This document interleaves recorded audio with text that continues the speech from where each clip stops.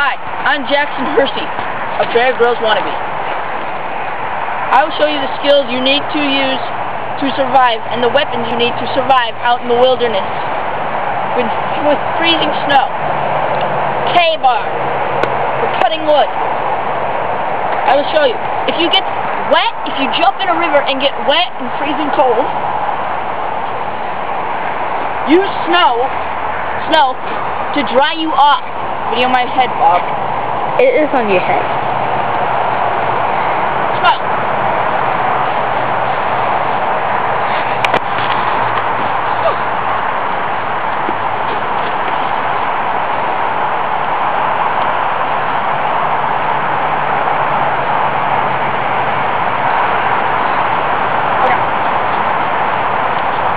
I use pi I use pine needles for vitamin C.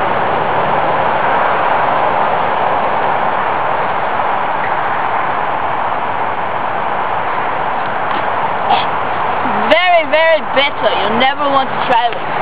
Unless you are in the wilderness and you need to survive. It took me 10 minutes. Come closer. Right here. Look over here. It took me 10 minutes to build my hut. Very nice hut. Yes, yes, very nice. Tons of pine needles if I need more vitamin C. Now, it is 31 degrees out. Look at the snow, it's freezing. I am literally freezing. I, my body, I'm freezing.